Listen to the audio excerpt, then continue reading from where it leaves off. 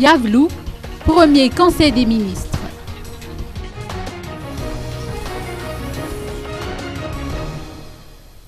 Les députés de Madagascar sont convoqués pour une session extraordinaire le 23 avril prochain.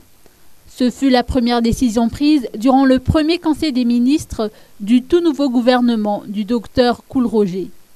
L'ordre du jour de cette session extraordinaire portera sur l'adoption du règlement intérieur de l'Assemblée nationale. Et toujours selon ce conseil, Radon Pian a rappelé sa politique dans la conduite des affaires de l'État et ses quelques directives à l'endroit de la nouvelle équipe gouvernementale. Ce premier conseil des ministres entame une nouvelle page de l'histoire de Madagascar Le chef de l'État a aussi insisté sur la nécessité pour l'État de respecter l'obligation de résultat.